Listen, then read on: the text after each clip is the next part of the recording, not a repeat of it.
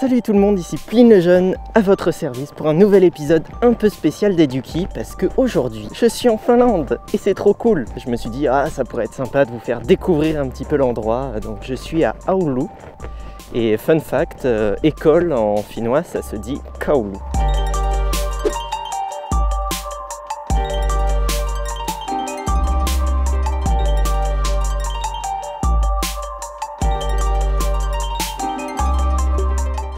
La Finlande. Ce fameux pays dont l'éducation est devenue célèbre suite aux résultats des enquêtes PISA.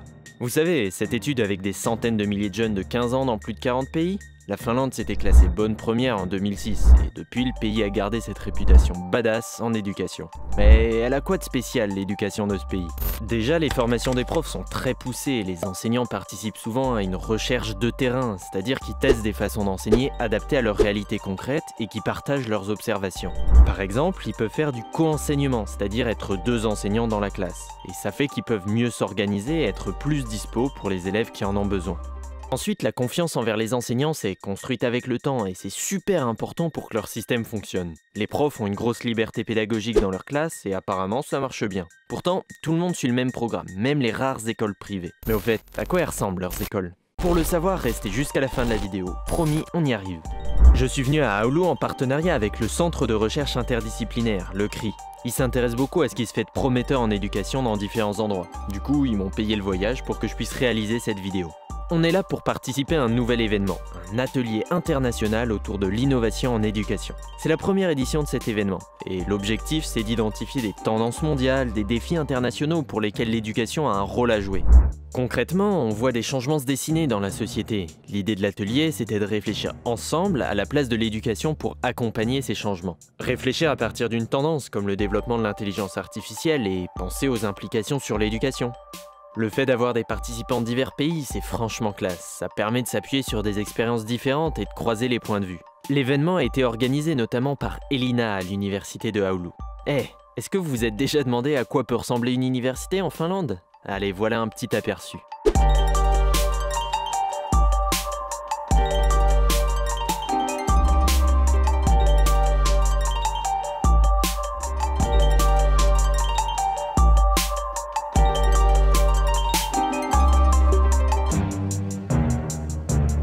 L'atelier a commencé par des petites interventions sur les défis et les tendances qu'on remarque, et ça permettait en gros de nous donner le contexte, et commencer à nous faire réfléchir sur différentes façons de percevoir ces tendances mondiales. Derrière, pause café.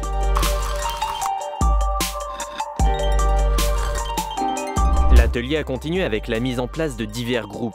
Ils ont été amenés à prendre un thème pour soulever un problème et pourquoi pas proposer une solution. Pour choisir le thème, ils sont partis d'un jeu de cartes décrivant des méga tendances. Par exemple, culture de l'expérimentation, augmentation de l'espérance de vie, citoyenneté mondiale ou encore intelligence artificielle. Après avoir travaillé autour de ces cartes, chaque groupe a choisi un axe sur lequel concentrer leurs efforts. Et là, c'est parti pour 42 heures.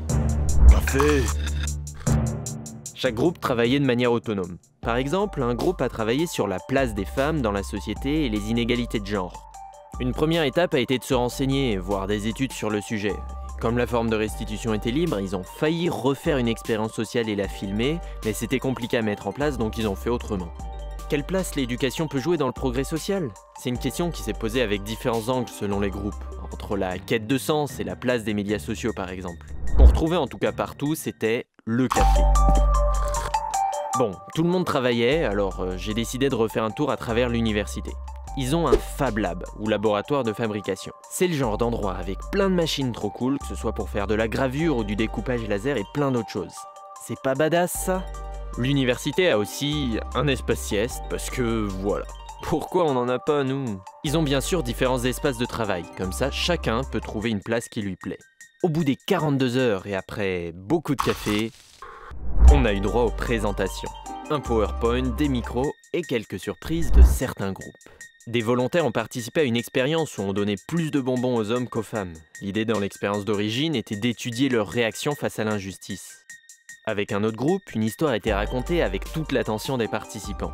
Les présentations et les échanges se sont succédés, et après deux grosses journées de travail, chacun a pu profiter d'une synthèse sur le sujet des autres. Et maintenant C'était la première édition de cet atelier international. Parmi les retours, la question s'est posée de la suite Identifier des tendances, aborder un thème et collaborer pour trouver des solutions globales, c'était motivant, mais quel est le prochain pas? Comment mettre en application ce qui ressort de ces échanges méga intéressants? Des questions qui seront répondues, j'espère, lors des prochains événements du genre, que ce soit en Finlande, au CRI en France ou ailleurs. On aura en tout cas appris par la pratique qu'avoir des points de vue issus de différents pays est très instructif. Si la Finlande peut inspirer la France, l'inverse est vrai aussi. Chaque pays a quelque chose à apporter à cette réflexion sur l'éducation, et chaque personne a son mot à dire. Alors, si on le souhaite, à nous de mobiliser notre intelligence collective. Euh... On n'oublie pas un truc Si, malgré la fin de l'atelier, on avait encore droit à de belles surprises on a pu visiter deux écoles. La première, c'est l'école Castelli, une école pensée pour favoriser les échanges et les rencontres. Les architectes se sont appuyés sur les recommandations de nombreux éducateurs qui tenaient compte de la recherche. Ça fait que cette école a notamment de nombreux espaces ouverts. La deuxième est l'école associée à l'université de Aoulou. C'est une école laboratoire comme il en existe plusieurs dans le pays. Les écoles laboratoires sont des lieux d'expérimentation pour réaliser des recherches qui bénéficient aux enfants. Elles mélangent de la pratique, comme des écoles normales, avec un côté plus dynamique et une ouverture aux chercheurs.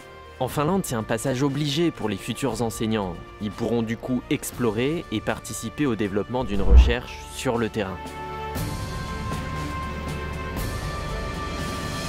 Avec les quelques étudiants du CRI venus eux aussi participer à l'événement, je crois qu'on repart tous avec quelque chose. Des idées et des questions, des rêves peut-être.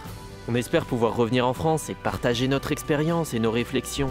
Qu'est-ce qu'on pourra construire avec nos spécificités locales et nationales, avec nos défis et nos problématiques? Pour ma part, ça m'inspire notamment sur l'intérêt des échanges et de la confiance entre le terrain et la recherche. Et finalement, cet atelier international, ce serait pas un premier pas pour la construire, cette société apprenante?